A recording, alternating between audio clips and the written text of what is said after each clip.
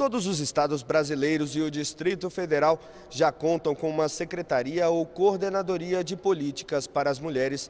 Paraná e Roraima foram os dois últimos estados que criaram coordenadorias. A meta do governo federal é chegar a mil organismos governamentais de políticas para as mulheres.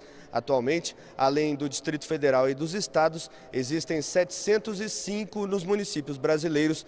Todas as capitais, com exceção de Cuiabá, no Mato Grosso, já têm uma estrutura dessas na gestão municipal. De Brasília, João Pedro Neto.